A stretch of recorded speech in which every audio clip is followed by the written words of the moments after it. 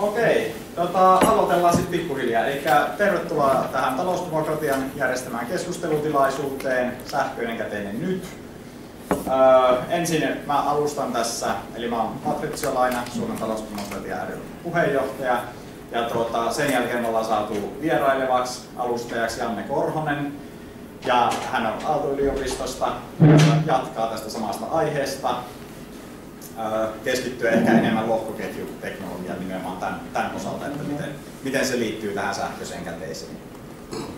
Öö, joo, eli pidemmittä puheitta tervetuloa. Ja tuota, näiden alustusten jälkeen niin tuota, tästä voi hakea sitten kahvia vapaasti tuolta baaritiskiltä tai teetä tai glögiä. Öö, muistaa vaan mainita, että talousdemokratia, niin, niin se menee sitten yhdistyksen piiriin. Ja tuota, sen jälkeen sitten pidetään talousdemokratian syyskokous ja kaikki tietenkin jäsenet on sinne tervetulleita ja kaikki on tervetulleita liittymään myös jäseniksi. Ja tuota, aloitetaan nyt tämä itse alustus tai keskustelutilaisuus, eli ideana se, että mä pidän tässä nyt ensin alustuksen ja tuota, pitäisikö meidän jättää se keskustelu sitten sinne loppuun Jannen jälkeen vai halutaanko tässä jo nyt keskustella sitten välissä? Et joitakin tarkentavia kysymyksiä ehkä voi tässä heitellä niin jo välissä, mutta jätetään vaikka se sitten tuota, syvällisempi keskustelu sinne loppuun, niin, niin tuota, ehditään ainakin käydä nämä asiat läpi. Yritän olla nopea, mutta ahneuksissa niin kyllä laitoin taas vähän liikaa kautta. Eli tuota, ensin mä käyn läpi, mikä on tuota, tilanne nyt, ja sen jälkeen mä käyn läpi, mitä ongelmia tässä nykytilanteessa on, ja sitten lopussa käyn ratkaisut läpi, että miten tämä voisi ratkaista nimenomaan tällä sähköisellä käteisellä.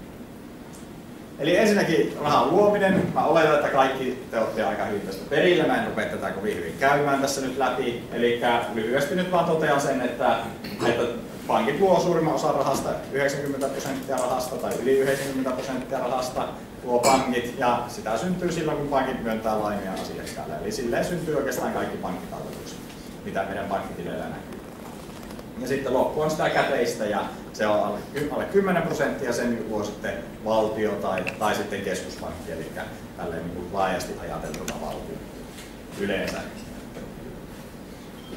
Öö, ja sitten millaista rahaa on olemassa, niin tuota, oikeastaan kolmenlaista rahaa, niin kuin mä oon jo tässä tullut siihen käsitellyt nämä kaksi ensimmäistä, eli pankkitalletukset, eli kaikki tällainen niin sähköinen tiliraha, niin nämä on pankkitalletuksia mitä voi olla ihmisillä. Sitten käteinen, se nyt on selvää, se teilit ja kolikot, se, sen varmaan jokainen ymmärtää. Ja sitten tuota, tämmöinen niin kuin, rahan muoto, mitä, mikä ehkä harvemmin tunnistetaan tai edes tiedetään tällaisen olemasta, olemassaolosta, on keskuspankkireservi. Joskus lyhyesti puhutaan vain reserveistä.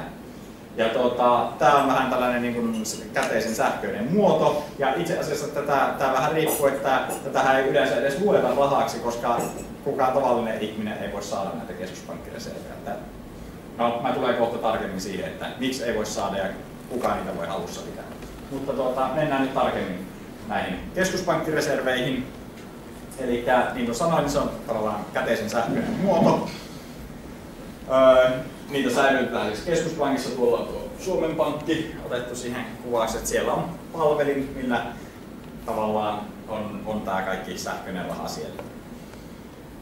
Ja näitä myös kutsutaan keskuspankkivarannoiksi jos, joskus.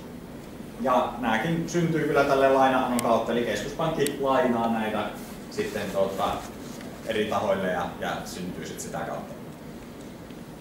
Ja niin kuin sanoin, niin tavalliset ihmiset ja yritykset ei voi tähän päästä käsiksi, eli ei voi hankkia tällaisia keskuspankkireservejä, mutta ö, pankit voi sitten hankkia tätä ja jotkut valtion viranomaiset. Eli mihin tätä yleensä käytetään, näitä keskuspankkireservejä, niin siihen, että pankit maksaa toisilleen sillä jotain maksuja. Eli pankit, kun pitää selvittää keskenään maksuja, niin he käyttää tätä siihen.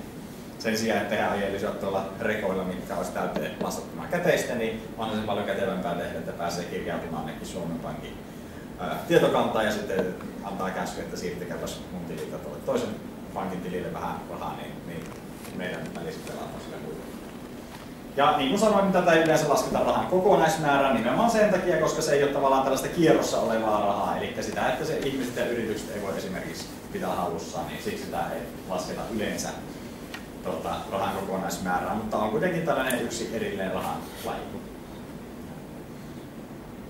Ja tämä oikeastaan kuvaa aika hyvin sitä tavallaan rahan niin kuin tällaista hierarkiaa, eli täällä ylimpänä pyramidihuipulla on tavallaan se kaikista arvokkain raha, käteinen, tai siinä mielessä arvokkain, että se on virallista rahaa. Sen jälkeen tulee nämä pankkitalletukset, jotka on tavallaan lupauksellisesta käteisestä. Ja tätä niin yleensä ihmiset, jos sanotaan rahaa, niin tämä on niin sellaista käytännön rahaa, mitä, mitä ihmiset mieltää, mitä rahalla tarkoitetaan. Ja sitten on kaikki muut tällaiset rahat, Eli esimerkiksi vaikkapa lounassetelit on tavallaan rahaa, että kyllähän niillä voi maksaa ja bonuspisteet ja muut tällaiset asiat, niin, niin ne on sitten kanssa luettavissa jossain määrin rahasta. Tai sitten kaikki hyödykerahat vaikkapa, että jos on joku kultaharkku ja marssii sen kanssa jonnekin, niin se kiinteä sen keltaa tai, tai jotain tällaista. Tai valtion velkakirjat on esimerkiksi siellä kategoriassa myös. Joo, no niin, mennään eteenpäin. Ja tässä on sitten vähän maksamisen erilaisia muotoja. Tässä on tuo, tuo Suomen Pankin julkaisusta tämä. Ja, tuota, ja tuota, tässä on tavallaan lajiteltu tämä käteinen tänne. Eli se on niin tavallaan keskuspankin rahaa. Keskuspankki tai valtio laskee sitä liikkeelle. Ja täällä on se ominaisuus, eli se on anonyymi, eli ei kukaan tiedä sitä, että jos jollain on 20 seteli taskussa, niin ei sitä tunnisteta, että okei, näillä ja näillä henkilöillä on 20 euron seteli taskussa, vaan, vaan tuota, se on siinä mielessä anonyymi. Ja tietenkin voi maksaa anonyymisti myös, että ei tunnisteta sitä maksajaa siinä yhteydessä.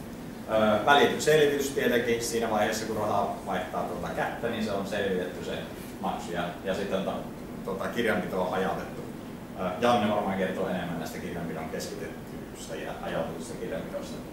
En mene siihen nyt tarkemmin. Ja sitten on nämä keskuspankkitilit, eli niillä, niillä säilytetään näitä reservejä nimenomaan. Ja ne on tietenkin, ne ei ole anonyymiä, eli jos on tilihaltija, niin sehän tiedetään kuka, kuka sillä tilillä pitää sitä rahaa.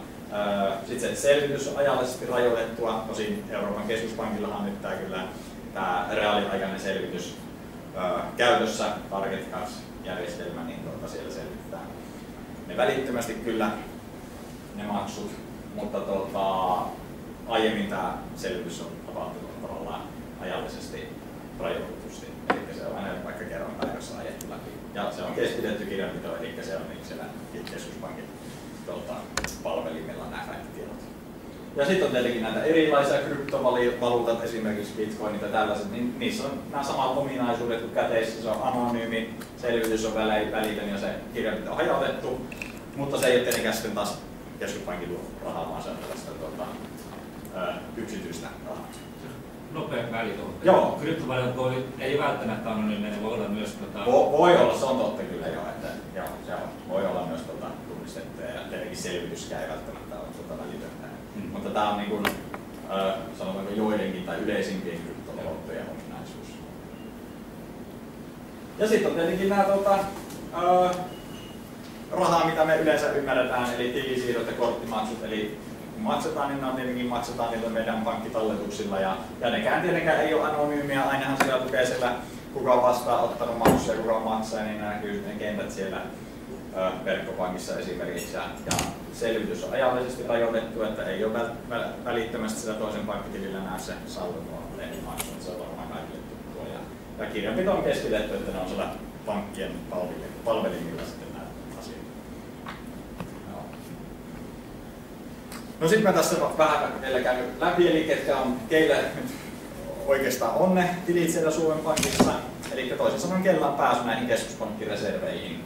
Ja Suomen Pankissa on siis kahdenlaisia tilejä, siellä on tämmöisiä maksuliiketilejä ja sitten on vähimmäisvarantotilejä. Ja maksuliiketilit on siis niitä, millä niin maksellaan toisille pankit keskenään ja, ja pari muuta valtioinstanssia ja muuta instanssia. Ja sitten on näitä vähimmäisvarantotilejä, jotka on sitten pankit, pankeilla ja niin ne edellytetään sitten pitämään tämä niin reservivelvoite siellä. Et nykyään se 1 prosentti on esimerkiksi näistä talletuksista, niin, niin sinne tilille pitää erikseen siirtää aina joka päivä tai pitää siellä joku tietty määrä se 1 prosentti niistä talletuksista, niin sitä on. Mä en tiedä mikä pointti tässä on, että niitä on kahdenlaisia tilejä, että ihan hyvinhän ne voisi olla sitä maksuliiketilejä niillä pankeilla ja sitten vaan katsotaan, että onko sillä tarpeeksi vanha päivän päätteeksi vai ei. Tai onko se kahden viikon tarkastelujakso, mikä se nyt on nykyään. Mutta joka tapauksessa että en ole tavallaan ymmärrä tätä, että ehkä tässä on historialliset syyt, miksi näitä on kahdenlaisia tilejä kehkeytynyt Suomen Pankkiin. Tässä on niin se, että nämä maksuliiketilit on sitten kuitenkin julkisia, Euroopan keskuspankki julkaisee ne kaikki. mutta sitten taas nämä vähimmäisvarantitilit ei ole julkisia, että ne on tota, salaisia. Tosin senhän voi oikeastaan päätellä, että kaikki ne, joilla on pankkitoimilupaa Suomessa, niin niillähän pitää olla tietenkin vähimmäisvarantitili myös. Että siinä mielessä niin ei ole kauhean vaikea päätellä, keitä se on. Ja Suomen Pankissa 24 maksuliiketiliä, tämä nyt on ehkä pari vuotta vanha tieto jo, että on saattanut vähän muuttua, mutta antaa suurin piirtein sen kuvan. Eli suuri osa niistä on pankkeja. Siellä on myös mukana valtiokonttori, eli tavallaan meidän valtiovarainministeriö oma tili on siellä. Ja sitten on kuntarahoitus, Exclear, eli pörssi, hypoteekkiyhdistys ja sitten tietenkin Suomen Pankilla on myös oma tili, mitä se voi tehdä maksuja ja vastaanottaa maksuja. Ja tässä nyt mä oon vielä koonnut näitä maksuliiketiliä, että tässä näkee nämä kaikki tuota, sillä nimellä, kun on sinne rekisteröity tuota, siihen järjestelmään maksuliiketili, niin tuota, sillä nimellä ne on täällä. Nämä on välillä vähän mystisiä nimiä, ei ihan erota aina mitä sinne tarkalleen tarkoitetaan, mutta se kyllä vähän selvittelee, niin kyllä se yleensä ainakin Googlella löytyy. Ja tänään merkannut vielä, että onko se pankki vai ei, eli onko se pankkitoimintaa Suomessa. Ja niin tätä nähdään, niin täällä nyt on esimerkiksi Danske Bankilla on sillä tiliä. Ja sitten tuota, ö, esimerkiksi tuolla pörssillä X-Clear System, sillä on tili siellä, mutta sillä ei ole pankkitoimilupaa, eli se ei ole tietenkään pankki. Öö, no joo, en ala käymään näitä tarkemmin läpi. Tässä on niitä vielä vähän lisää, että tässä nähdään nämä kaikki, kaikki tilit listattuna, joilla se tuota, sillä pari vuotta sitten ainakin Ja tässä on vielä nämä, missä suomalaiset pankit, eli kaikki, joilla on pankkitoimilupaa. En niitäkään ala käymään läpi, että, että Mm. Okei, okay, mitäs ongelmia tässä systeemissä nyt on? Ja mä käyn nyt ainakin pari ongelmaa tässä läpi, mitkä, mitä tuota, aiheutuu. Eli ensinnäkin laillinen maksuväline. Lain mukaan niin siellä määritellään aina, ainoastaan käteinen virallisesti rahaksi. Eli se, että ihminen, jos on jo, jo tuolta toiselle velkaa ja menee tuota, käteisellä sinne pyytämään, että okei, tässä mä maksan velan takaisin, tavallaan sen on pakko vastaanottaa se raha sit siitä, koska se on laillista rahaa ja virallisesti rahaa. Mutta jos se menee jollain muulla, että menee vaikka kultakolikolla tai kultaharkolla tai vaan tällaisella maksamaan, niin se voi että ei kelpaa velan takaisin maksua. Hänkin, hänkin tuota, käteistä, että se käy. Ja pankkitalletukset, niin ne on ainoastaan lupaus toimittaa tätä käteistä. Että se, että sulla on tilillä rahaa, niin se tarkoittaa sitä, että, että voit mennä tuota pankkiautomaatilla ja yrittää nostaa sieltä sitä käteistä sitten. Ja, ja yleensä niitä sitä saa, mutta tilanteitakin on, jolloin ei saa. Ja tässä on kuitenkin tällainen pieni ristiriita, että laissa kuitenkin on nykyään määritelty se, että palkat pitäisi maksaa pankkitilille. Eli se käytännössä pakotetaan ihmiset käyttämään tällaista rahaa, mikä ei kuitenkaan lain mukaan ole välttämättä rahaa. Siis se ei tarkoita, että se on laitonta, jos ei laissa lue, että se on rahaa. Et laissa lukee, että käteinen on virallisesti rahaa, mutta siellä ei lue sitä tietenkään, että vaikka pankkitalletukset on laitonta rahaa. Että, mutta siellä ei erikseen määritellä, että tämä on tuota, virallisesti rahaa, eli sitä ei pakko ottaa vastaan jos joku menee tuota, ö, maksamaan toiselle jota, jostain vaikka esineestä jotain, niin voi sanoa, että ei, ei käy, tuota, en ota vastaan tuota, tällaista, että pitää maksaa käteisellä. Niin lain mukaan voi, voi toimia niin. Harva nyt tietenkään sanoa, että jos me laitan tilisiirron, niin kai se nyt käy. Niin kyllä yleensä aina kaikki se on ihan ok. Mutta tuota, ei periaatteessa kuitenkaan lain mukaan. Ja, Miten toiminen juridisesti sitten, kun nykyään kaupathan haluaa päästä käteisestä eroa, eli ne ei halua hyväksyä laillista maksuvälinettä? Voitko no, siis, asiakkaana sanoa, että sun on pakko ottaa vastaan? Joo, eli siis ky- kyllä pakko ottaa käteistä vastaan, mutta pankithan, tota, tai siis kaupat, tästähän mun mielestä oli joku juttu, ei, ei tämä nyt oikein tainnut mennä, mutta tota, nämä kaupat, tai joku oli ainakin muistaakseni tuota, vaatinut sitten jotain ennakkopäätöstä tai jotain tällaista, ja tota, se, se, ja siitä oltiin annettu sellainen, että tuota, pank, kauppoja on siis pakko ottaa, se taisi olla nimenomaan näistä yhden ja kahden sentin niin ne oli pakko ottaa niitä vastaan, mutta ää, kaupat sai määritellä sitten tämmöisen niin kohtuullisen ylärajan, eli oli nyt 50 vai 100 sen seteliä, niin niitä ei pakko ottaa sitten vastaan, että se niin kuin, tavallaan ei tarvii edellyttää, että on niin paljon vaihtorahaa aina olemassa, että voi mennä vaikka 500 euroa seteliin ja maksaa jonkun kahden euron ostoksen, niin tuota, siitä tuota, kauppa voi kieltäytyä. Ilmeisesti se on suositus nykyään, että on, on otettava rahaa, mutta ei ole pakko. Suositus? Niin, mulla on sitten jonkinlainen tieto Okei. olemassa, No, jos mä päivän sen esiin. joo. No, Miten se on juridisesti, jos laissa lukee, Niin. että on pakko ottaa? Tota, siihen on tullut vielä muutos sitten jossain vaiheessa. Mä en tiedä monta kauppaa tai tämmöistä, jotka ei ota enää rahaa vastaan tai niin puoltoliikettä tai muuta. Niin, niin siis nehän voi sanoa, että ne ei ota, mutta jos sä lyöt nyrkin pöytä sanot, että sä otat, Ei. Siis Niin. mä oon soittanut valtiovarainministeriölle, mulla on jonkun henkilön nimi tuolla ja me ollaan käyty läpi asian. Niin, että onko sitä lakia muutettu vai onko siihen lain tulkintaan tullut muutos? Mä en, mä en tähän osaa sanoa, mutta Okei, tuo kuulostaa kyllä aika erikoista silleen ainakin lain näkökulmasta. Että Mitenkä se Ruotsissa? että voi kieltäytyä myymään jonkun tavaran si- siinä tilanteessa, että alkaa yrittää maksaa sitä jollain tämmöisellä, että tietenkin kaupalla on oikeus päättää, että myykö jotain tavaraa vai esimerkiksi vakuutusyhtiön on pakko ottaa rahaa vastaan, mutta ne ei enää ota rahaa vastaan valitettavasti ja siitä on toi, toi, toi eduskunnan oikeusasiamies antanut huomautuksen, mutta siitä huolimatta niin ne ei ota vastaan. Okei, no Tällä hetkellä. niin, voihan sitä toimia tietenkin lakia vastaan. Onko Ruotsissa Jos sitä ei samanlainen? rangaista, niin sehän sitten tavallaan niin kuin, ei, ei sitä mitään rangaistusta mun tietääkseni laissa on määrätty, että jos et ota käteistä vastaan, niin mitä sitten tapahtuu.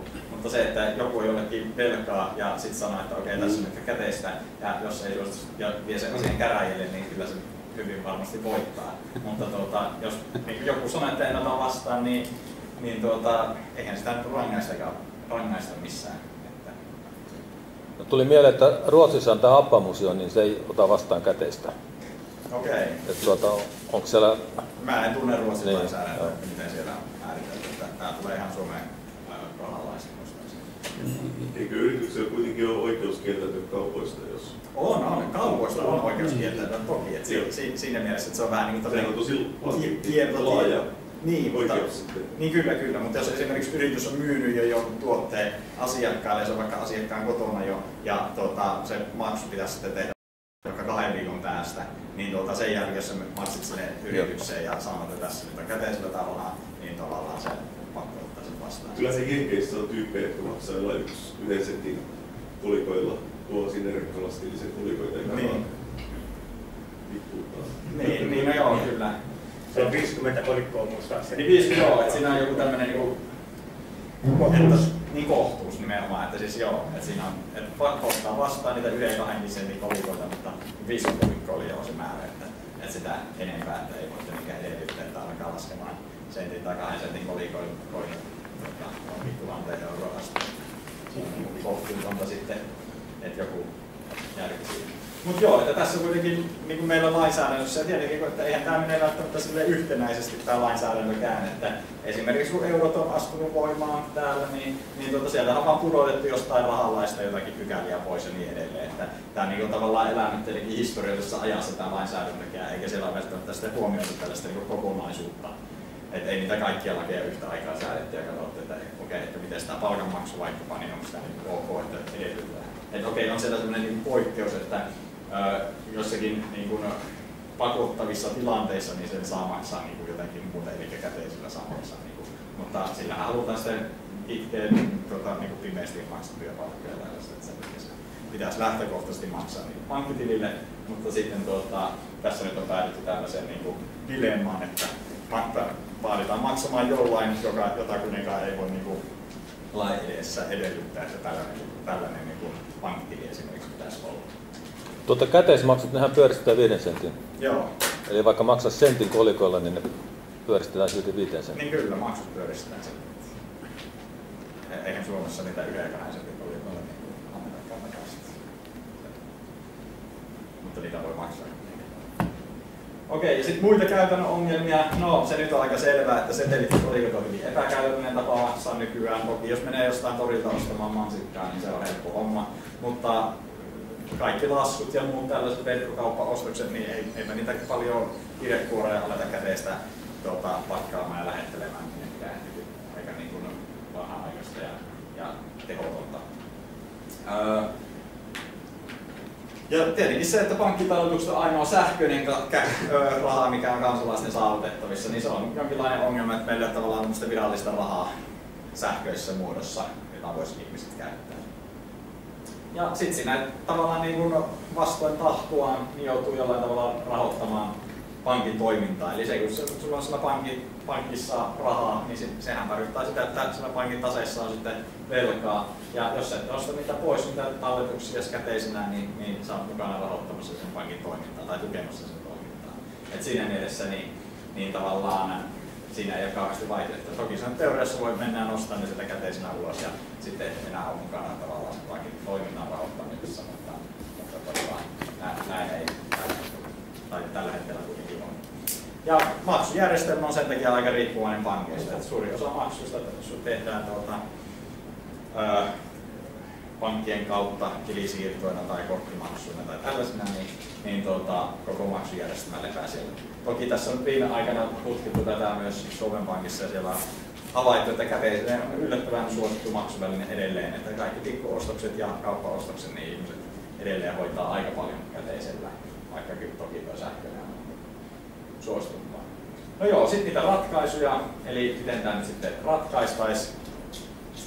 Niin tuota, sähköinen käteinen tänne otsikon mukaisesti olisi se yksi ratkaisu tähän. Me ollaan ehditty muitakin ratkaisuja, rahareformia ja tällaista, mutta nyt ei käsitellä niitä, vaan keskitytään tällaiseen yhteen asiaan. Ja tämä sähköisessä käteisessä on siis ideana se, että annetaan kansalaisille ja muillekin yrityksille, yhdistyksille, kaikille niin taloudellisille toimijoille, niin annetaan oikeus pitää halussa tällaista sähköistä virallista rahaa. Ja tietenkin se, että kun virallista rahaa on, niin se pitäisi olla jollain tavalla julkista rahaa, eli niitä keskuspankkireservejä. Niitä pitäisi pystyä jotenkin pitämään hallussa sähköisessä käteisessä. Nykytekniikalla on hyvin helppo toteuttaa. Janne kertoo varmaan lisää tästä teknisestä puolesta. Ja tässä pankit saa kuitenkin jatkaa toimintaansa kuten ennenkin, eli tässä ei tavallaan tätä pankkijärjestelmää aleta muuttamaan. Ja tämä on tavallaan siinä mielessä rahareformin versio, eli rahareformissahan tämä pankkien rahaluontivalta siirrettäisiin kokonaan tuolta julkiselle taholle, mutta tuota, tässä tavallaan ei mennä siihen asti, vaan oikeastaan kasvatetaan vaan sitä niin julkisen rahan roolia sitten tässä yhteiskunnassa. Et sen sijaan, että se on alle 10 prosenttia, niin se olisi sitten luultavasti vähän enemmän. 20 prosenttia tai 30 prosenttia tasaan tällaista. Mutta edelleen tuota, pankit voisivat luoda sitä rahaa ja, ja tietenkin hankala sanoa niin kuin etukäteen, että kuinka paljon se sitten lopulta tai mihin se asettuu, että kuinka suuri osa pankkien luomaa rahaa olisi, kuinka suuri osa valtion luomaa. Kysyä väliin? Joo. Eikö tämä ollut tota, joku vasemmistoliiton, vasemmiston nuorten niin kuin, joku ehdotus joskus, että tuota, kaikille kansallinen tili Ää... Sitten, tota, ja Varoufakkisin se suunnilleen B oli vähän tämän sukuneen kanssa. Öö, no, mä en kyllä tiedä, että vasemmista nuorilla olisi tällaista. Joskus rahareformi on siellä ollut niin kuin aikaisemminkin. Ehkä se on ollut joku, joku siellä, mä oon nähnyt jonkun suutta sen niin kanssa. Joo, no en, en osaa kyllä sitä sähköistä käteistä sanoa, mikä tilanne sen osalta Voi olla, voi olla. Tästä on nyt käytössä nyt se, että saa kaikille kansalaisille kanssa keskuspankkitili. Niin, Joo. no mä kohta pääsen siihen Joo. Joo. tekniseen puoleen myös. Öö, ja tätä on siis ehdottanut esimerkiksi tämä Nobel, öö, taloustieteen Nobel, jos sitä Nobeliksi voi kutsua. Eli siis tämmöinen Nobelin muistopalkintohan se virallisesti on, mutta joka tapauksessa tunnetaan taloustieteen Nobelina jonka jakaa siis Ruotsin keskuspankki, niin James Tobin on esimerkiksi tämän tota, ehdottanut nimenomaan tällaista 85, 87, sillä kaksi tällaista julkaisua, missä se ehdottaa tällaista deposited currency, eli talletettu valuutta tai joku tällainen se suomennus siihen olisi. No, miksi sitten tämä pitäisi tehdä? Niin tietenkin ensimmäisenä on tällainen periaatteellinen syy, että se, että meidät pakotetaan tavallaan pitämään halussa yksityistä rahaa enemmän tai vähemmän se, että palkat maksetaan vaikka pankkitileille ja, ja tuota, kyllä ne taitaa Kelan etuudetkin tulla sinne ja niin edelleen. Niin, niin tietenkin on tämmöinen periaatteellinen syy siinä, että ihmisillä pitäisi olla oikeus pitää halussa julkista, julkisen tahon liikkeelle laskemaan virallista sähköistä rahaa, muuta kuin tuota, käteistä. Tai siis ei ainoastaan, että ei ainoastaan käteistä, vaan, vaan myös sähköisessä muodossa olevaa. Ja tietenkin tässä on monia muitakin hyötyjä, että rahat on aina varmassa turvassa, että nykyään ne rahat periaatteessa voi tuota, öö, siinä mielessä kadota, että pankki voi mennä nurin ja, ja sitten tuota, syntyy näitä talletuspakoja ja niin edelleen. Että jos pankkikriisit on vähän tuttuja, niin, niin näihin se missä monesti käy. Toki on meillä talletussuoja, jossa sitten valtio on taannut sen mutta tavallaan se, että sitten joku toisen tahon pitää taata, että saa ottaa ne rahat sieltä pankissa, niin sekin on vähän semmoinen niin kyseenalainen juttu mun mielestä. Ja sitten tämän myötä niin tavallaan talletussuojasta voitaisiin luopua. Eli tavallaan se tekisi näistä pankkitalletuksista, sitten perinteisistä pankkitalletuksista, niin semmoista normaalia kilpailevaa rahaa siinä, missä kaikki muutkin. Että niille ei olisi luotu mitään tämmöisiä erityisiä öö, suojamekanismeja. Että sitten jos pankki menee nurin, sitten se menee ne pankkitilille rahat. Mutta sulla olisi tietenkin mahdollisuus pitää niitä sähköisessä muodossa sitten tuota, tällaista julkista rahaa, jota et voisi menettää sitten, että se olisi sitten varma sitten tuota, tämän seurauksena eli tämä koko maksujärjestelmä olisi vähän vakaammalla pohjalla, tai aika paljonkin varmaan pohjalla, että maksuja voitaisiin selvittää nimenomaan tuota, keskuspankin toimesta tai mihin tämä järjestelmä rakennetaankaan, niin se ei ole riippuvainen sit sitä pankkijärjestelmästä. Jos pankkijärjestelmä kaatuu, niin sitten maksujärjestelmäkin kaatuu, niin se on niin tällä hetkellä se ongelma. Niin, niin tässä tavallaan se maksujärjestelmä, ainakin osa siitä, niin pysyisi tälleen turvallisimmilla vesillä. Toki meillä on aina se käteinen myös, mikä sitten aika pommin varmaa, että se, se, se tuota, ei teknisesti ongelmat sitä tuloa ja niin edelleen. Öö, sitten välittömät tilisiirrot olisi mahdollisia, mahdollisia, eli nämä voidaan ihan hyvin teknisesti selvittää ihan välittömästi. Sehän nyt on selvä juttu, että tekstiviestit menee välittömästi perille, mutta minkä takia ei mene sitten valaan, niin se on omituista, että ei se sen teknologia niin sen kummempaa loputa. Ja nykyään siinä siis No ei taida enää nykyään olla parin päivän viivettä, että tässähän olisi tämä joku tämmöinen vapaaehtoinen juttu, että ne samana päivänä jo selvitetään ne rahat, jos siirtää ne, mä en muista mikä se kello aika oli ennen kolmea tai jotain, niin sitten on samana päivänä neljätä tuota, arkipäivänä sillä tilillä. Mutta tuota, ennenhän tässä olisi kaksi pankkipäivää, se kahden pankkipäivän päästä tililtä, mutta nykyään se on, tuota, jos on siis pankkipäivän aikana siirtää. Niin Ostoksilla menee edelleen voi mennä muuta päivää. Ai ostoksilla voi, okei. Okay. Tilisiirroissa menee, tota, ne on nopeutunut. Että ehkä pankitkin on ymmärtänyt, että heidän pitää vähän alkaa niin oma-aloitteisesti tuota, parantamaan tätä maksuselvitystä, että, että tuota, ei ihan heti syrjäytetä niitä. Ja sitten tietenkin tämä fintech-ala, eli siis niin rahoitusteknologia-ala, niin erilaisia palveluja on ja sovelluksia, esimerkiksi MobilePay on aika tuttu sovellus varmaan monille, niin esimerkiksi tällaisten niin kuin, ö, tukeminen. Ja MobilePayhan pitää muistuttaa, että se on tuota Danske Bankin oma sovellus ja y- yksi syyhän minkä takia se on nimenomaan Danske Bank on se, että se on pankki. Että sitä ei ole voinut mikään muu tämmöinen firma kehittää, Google tai Nokia tai Microsoft tai mikään muu tämmöinen, vaan se on nimenomaan pankki kehittänyt sen, koska se selvitetään kuitenkin lopulta sillä pankin kirjanpidossa se, ne maksut niin tavallaan se, että tämä mahdollistaa sen, että enää ei, ei ole riippuvainen pankkijärjestelmästä tai pankkien maksujärjestelmästä tämä, nämä toimijat, vaan ne voidaan, voidaan selvittää sit suoraan siellä keskuspankin tileillä tai, tai sitten jossain muun tuota, tämmöisen maksulähetysfirmojen tileillä. Öö, ja ei tarvitse siis rahoittaa pankin toimintaa vastoin omaa tahtoaan, eli jos ei vaikka pankki nyt voi tietenkin myöntää lainoja, ei me edes tiedetä mihinkä pankit myöntää lainoja, jos vaikka sotien rahoittamiseen voi pankit myöntää lainoja ja se, sitten välillisesti tukemassa sitä tai, tai sitten johonkin tuota, ympäristö, tuota, tai ympäristöä haittaaviin asioihin ja niin edelleen. Tai sosiaalisesti kestämättömiin asioihin, mitä ei niin itse haluaisi tukea, mutta sitten käytännössä joutuu tukemaan, koska on sen pankin asiakas. Ja näitähän ei siis tiedä edes, että mitä joutuu tukemaan. Tietenkin tämmöinen niin pankkien läpinäkyvyyskin olisi ihan tervetullut lisää siinä, että tietää, mitä se pankki rahoittaa tai mihinkä se myöntää lainoja valita, että mitä pankkia voi käyttää. Mutta tuota, tämä tekisi sen, että ei tarvitse tukea tätä mitään. Öö, ja sitten tietenkin tämä niin osa niin hyödyistä niin tulisi julkiselle sektorille, ei siis kaikki niin kuin rahareformista, mutta ainakin osa tai suurempi osuus siitä rahasta olisi julkista rahaa ja sitä kautta ne hyödyt sitten julkiselle sektorille. Ja sitten, joo, sano vaan. Tässä, tota, miten tämmöinen niin kuin, niin kuin, tässä mittakaavassa vaikuttaisi tota, esimerkiksi semmoiseen, että tota, EKP sulkee rahaa Kreikkaan ja kreikkalaiset ihmiset. Meillä on kuitenkin se keskusvalta, joka pystyy tekemään sen niin paikallisessa pankkijärjestelmässä, pistää ihmiset kamala niin miten se vaikuttaa siihen? Niin. No, se riippuu aika paljon varmaan tuosta siitä teknologiasta, miten se on toteutettu. Että onko mm. se keskitetty kirjanpito vai hajautettu. Että niin jos on keskitetty, niin sitten se keskuspankki voi edelleen pistää ne rahaa mm. niin sanoa, että, että selvitään nämä maksuja tässä meidän järjestelmässä. niin tuota, tavallaan samanlainen sikailu on mahdollista. Mutta sitten jos on taas hajautettu, niin sitten se ei ole periaatteessa mahdollista, että, että tuota, no, ehkä Janne osaa kertoa tai vastata paremmin, miten se menisi sitten siinä. Mutta sitten tämä loisi myös rahapolitiikkaa lisää välineitä, että tässä on nyt nähty, että korot on nollissa ja puupattu vaikka kuinka paljon uutta rahaa tämän QEn myötä sinne rahoitusmarkkinoille. Pörssikurssit on tehnyt uusia ennätyksiä ja niin edelleen ja rikkaat on rikastunut, mutta aika huonosti niin kuin talous on pyörinyt. Okei, nyt se on vähän pyörinyt, mutta kymmenen vuotta on tässä ollut niin kuin aika pitkälti kriisissä. Niin tavallaan se, että tämä mahdollisuus rahapolitiikan välineen sellainen, että tuota, esimerkiksi se, että siirrettäisiin kaikkien ihmisten tilille joku tietty rahan määrä. Ja se tietenkin auttaisi taloutta elpymään niin edelleen.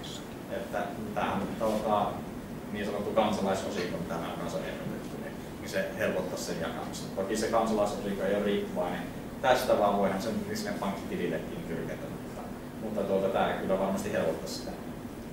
Olisi kysymys.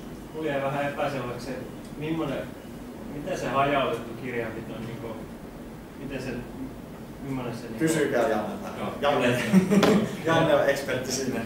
niin tuota, varmaan ensin, ensin tuota, mä en ole niin tuota, tekninen osaaja siinä. Että, mutta tuota, se varmaan seuraava esitykseen. Niin, mulla on vain yksi kommentti, kun totesit on kymmenen vuotta. Tähän Suomen itsenäisyyteen suhteutettuna 10 vuotta on 10 prosenttia siitä kokonaisajasta, eli sadasta vuodesta, eli mun mielestäni tosi pitkä aika.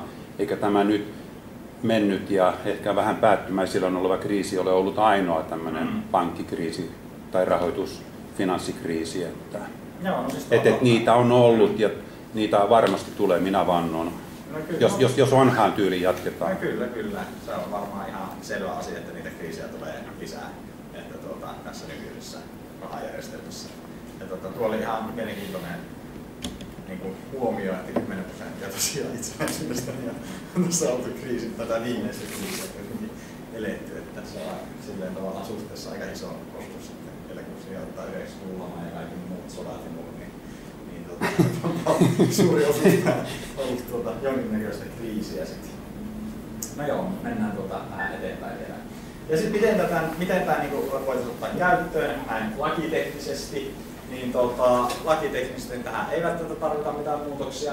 Eli tämä tota, EKPn mandaatin määrittelevä 17 artikla, niin siellä sanotaan, että toimiensa toteuttamiseksi EKP ja kansalliset keskuspankit voivat avata tilejä luottolaitoksille, eli pankeille, julkisyhteisölle, eli valtiolle, valtiokonttorille ja tällaisille ja muille markkinaosapuolille. Ja sitten se jää vähän niin kuin tulkinnan varaiseksi, että ketään ne muut, maksu, ö, tuota, muut markkinaosapuolet on. Eli ne voi olla ihan hyvin tämmöisiä maksuvälittäjiä. Nytkin ihan avattu esimerkiksi hypoteekkiyhdistykselle ja tällaiselle, että sä, tai no okei, okay, se on luottolaitos kyllä, että se myöntää lainoja, mutta esimerkiksi pörssille ja tällaiselle tota, tahoille niin on myönnetty tilejä sinne tai avattu tilejä, että ne voi selvittää maksuja sitä keskuspankin kautta, niin niin tavallaan se, että se kun vaan tulkitsee sen niin, että okei, okay, tämä muut markkinaosapuolet niin kattaa vähintään nämä maksuvälittäjät, eli on, sitten olisi olemassa tällaisia niin kuin tavallaan tilejä, jotka tuota, ei olisi pank, pankkien tilejä, vaan, vaan olisi tuota, joidenkin muiden organisaatioiden tilejä. Ja sitä kautta sitten voi selvittää maksuja. Sitten. Eli ihan tämmöiset niin kaupalliset toimijat tai julkiset toimijat, esimerkiksi vaikka Kela voisi avata tilejä ihmisille ja, ja sit sitä kautta selvittää maksuja, että sulla on tili Kelassa esimerkiksi, että sä voisit sieltä ihan normaalisti käyttää sitä niin kuin mitä tahansa muutakin pankkitiliä. Tai, tai sitten jotkut kaupalliset toimijat, Facebookit ja Applet ja tällaiset, niin ne, ne voisivat avata tilejä ja sitten sulla olisi tili Googlella tai jotain tällaista ja sitten ne selvittelisi maksuja. Et se on ihan miten se haluaisi. Tietenkin sitten voidaan tulkita myös, jos haluaa suoraan nämä tilit sinne keskuspankkiin, että kansalaiset, yritykset ja yhteisöt, niin niin tavallaan kaikki tällaiset niin luetaan myös näiksi muiksi markkinaosapuoliksi. Tai sitten jos halutaan mennä vielä niin kuin täsmällisemmin, niin muutetaan vaan tämä artikla sellaiseen muotoon, että sinne lisätään maksuvälittäjät, kansalaiset yritykset, yhteisöt ja muut. Mutta tuota, en mä nyt näe, että tämä mitenkään ihan hyvin noin muut markkinaosapuolet, jos tähän asti on pystytty lukemaan pörssit ja muut tällaiseksi, niin ei se kauhean hankalaa lukea niin kuin, tuota, tällaiset maksuvälittäjät varsinkaan niin muissa maksu, tuota, markkinaosapuolta. No sitten tämä niin teknisesti menisi tai, tai oikeastaan enemmän tällaisia teknisiä kysymyksiä. ehkä seuraavassa tulee vähän paremmin siihen vastauksia, eli olisiko nämä ensinnäkin tilit suoraan siellä keskuspankissa, vai olisiko ne nimenomaan tällaisen maksuvälittäjien kautta. Eli olisiko sulla sitten sen sijaan, että on jonkun tietyn tämmöisen tuota, yksityisen pankin ö, luottokorttia ja tuota, tili siellä ja verkkopankkitunnukset ja niin edelleen, niin olisiko sulla nyt sen jälkeen sitten Suomen Pankin verkkopankkitunnukset ja, ja tuota, ö, Suomen Pankin debitkortti ja niin edelleen. Kuulostaisi ainakin hienolta, mutta tuota, mä luulen, että Suomen Pankki ei ole kauhean halukas. Ne ei ole tuota, hirveän innostaita pyörittelemään tällaista maksuliikennettä, ainakin sen perusteella, mitä mä olen. Mutta siis silleen, että teknisesti ihan täysin mahdollista. Tai sitten voisiko meillä sitten tällaisia maksun välittäjiä, eli tavallaan erotetaan tämä maksujärjestelmä siitä pankkijärjestelmästä ja meillä on sen jälkeen jotenkin maksuvälittäjä, joilla on tilit siellä keskuspankissa ja, ja tuota, ne sitten selvittelee siellä asiakkaiden puolesta niitä maksuja. Eli tavallaan siellä voi olla asiakkaana ihan vaikka Kelan asiakkaana tai Kelan, Kela on tili ja sitten Kela makselee, selvittelee siellä tuota maksuja tai joku liian näitä muita pieniä fintech-yrityksiä. Sitten on taas kysymys, että olisiko tämä koro, korollinen vai koroton, eli kertyisikö korkoa tällaiselle keskuspankkitilille vai ei. Se on yksi kysymys. Ei, mulla ei ole mitään hirveätä erityistä näkemystä. Tavallaan ehkä, ehkä se, semmoinen, että miksi tavallaan pitäisi olla korollinen, että ei käteisellekään makseta mitään korkoa, niin, niin se, että onko tavallaan oikein se, että saa ilman riskiä niin, niin tuota, tuottoa, niin se ei mun mielestä niin kyllä periaatteella, periaatteellisella tasolla on tavallaan niin väärin saada riskitöntä rahaa tai riskitöntä tuottoa. Sitten on tuota, se, että onko tämä kirjanpito keskitetty vai hajautettu, se, eli onko se niin kuin, tuota, luokkoketjuteknologia tai johonkin tällaiseen perustuva, niin se on yksi kysymys ja ne varmaan osaa paremmin kertoa. Ja sitten vielä tämä, että on se anonyymi vai tunnistettavissa oleva tämä tuota, tilihaltija. Et käteenähän oli anonyymiä ja sitten nämä, tai osa kryptovaluutoista toimii näin anonyymisti, ettei pystytä tunnistamaan tätä. Ja mutta sitten taas peruspankkitilit niin toimii sitten niin, että tunnistetaan se maksaja ja vastaanottaja. No niin, oli pohdittavaksi. Ja tässä on vielä tuota, Suomen Pankin tällainen lajittelu näistä. Mä nyt en rupea tarkemmin käymään läpi, mutta siis periaatteessa on samat jutut, että onko tunnistettava vai, vai tuota, tu, tuota, anonyymiä ja keskitetty vai hajautettu ja korko vai ei korko. Siinä on erilaisia vaihtoehtoja täällä, että mihinkä se sitten tipahtaa, että käsin. Niin esimerkiksi käteen nyt on täällä, että se on julkista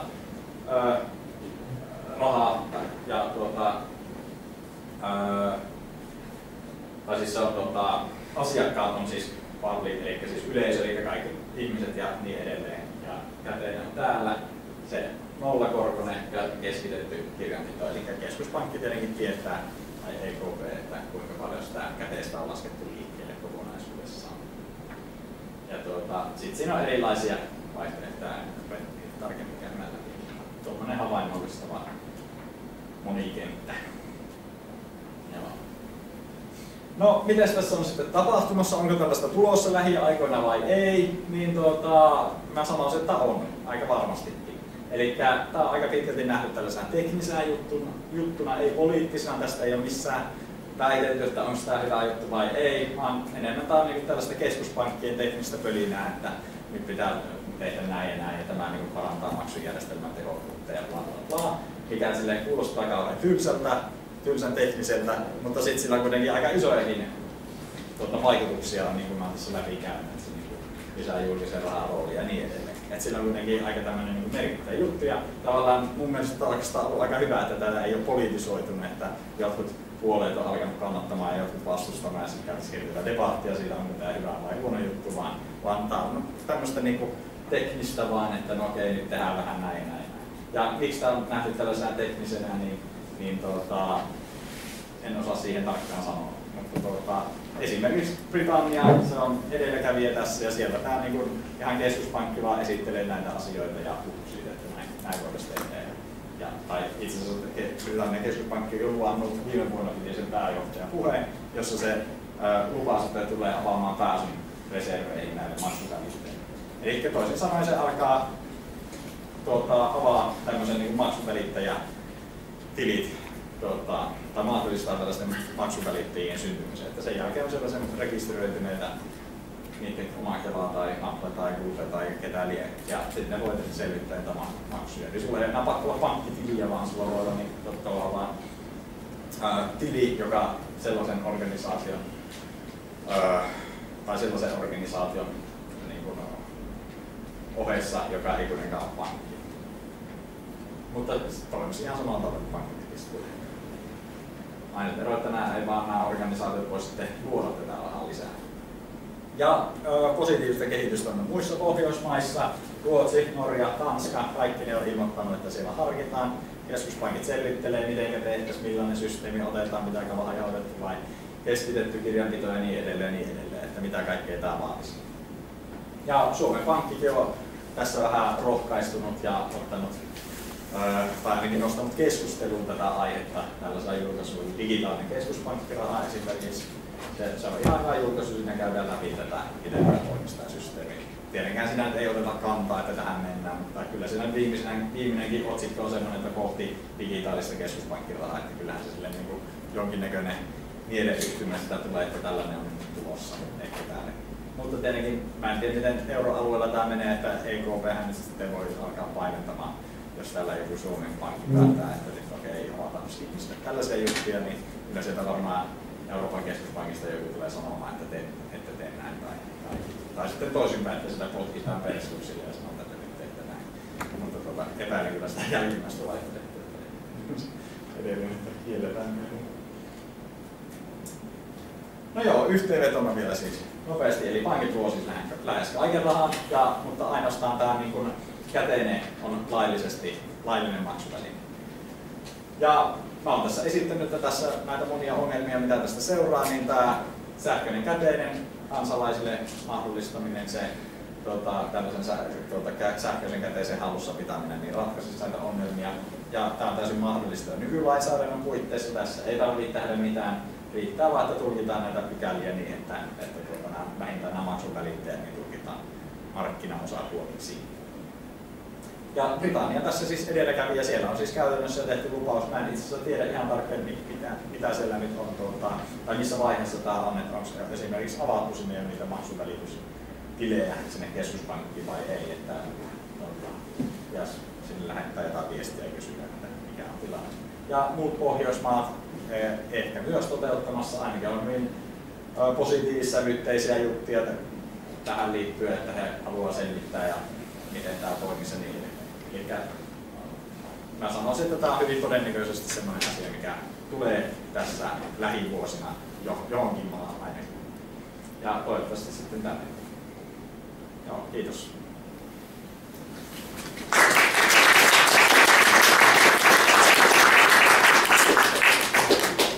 Joo, ehkä muutama kysymys. Tähän ei kommentti vaan tuosta markkinaosapuolesta. Että kyllähän yksityiset henkilöt ovat tärkeä markkinaosapuoli. Ja muistan sen, kun noin kymmenen vuotta sitten pääministeri Matti Vanhanen sanoi, että ne yksityishenkilöt, jotka ovat töissä ja joilla on tuloja, teidän ei pidä ruveta pihtaamaan tätä omaa kulutusta. Eli se oli siis sen jälkeen, kun se Yhdysvalloissa alkoi tämä, nämä rahoitus- ja finanssiongelmat.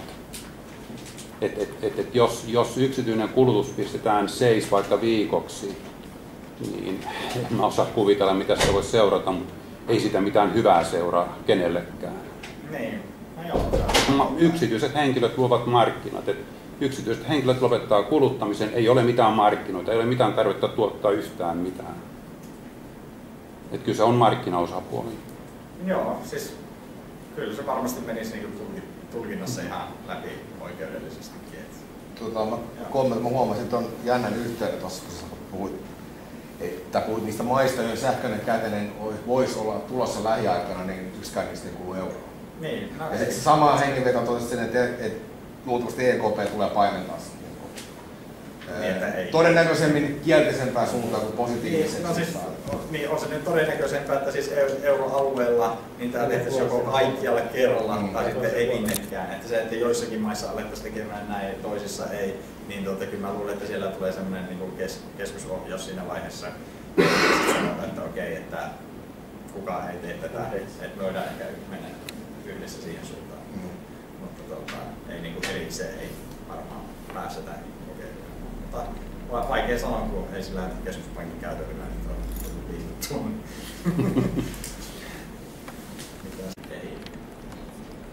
Et meillä periaatteessa oli merkattu olisi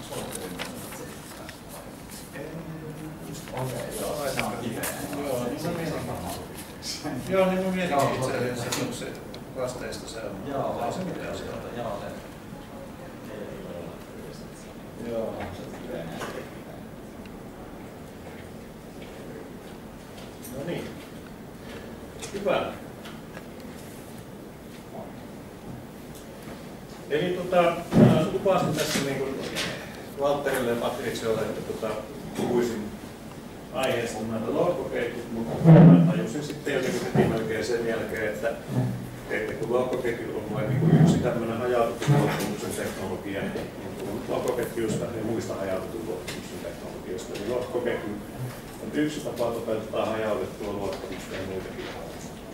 Mutta mä oon tosiaan, tosiaan tota, Janne Korhonen, Janne M. Korhonen, ystäväni Janne Korhosen Janne Kytoksen ja esimerkiksi Aalto-yliopistolla on yksi Janne Korhonen, joka omistaa tämän osoitteen janne.korhonen aalto.fi ja se on aivan kyllästynyt vastailemaan mun sähköposteen. Että, tota, että sillä viisiin niin kannattaa pitää mielessä. Tota, mä ää, alun perin diplomi-insinööri ja, ja on ollut tota, muotoilubisneksessä ennen kuin läksin sitten tekemään väitöskirjaa kauppakorkeakoululla. Ja mä olen hyvin, hyvin tämmöisen niin sähköisiin asioihin perehtynyt tässä väitöskirjassa, niin tätä väitöskirjaa sitten niin painoslaatuisen kehityksestä 40-50-luvulla. Eli mä tulin tähän niin kuin, tämmöiseen lohkoketjuun ja luottamusteknologiatutkimukseen niin ihan sillä, että mä oon tekniikkahistoriallisia enimmäkseen ja organisaatiotutkija toiseksi. Ja tota, tuota, tuota, mä en tiedä niin aiheesta yhtään mitään.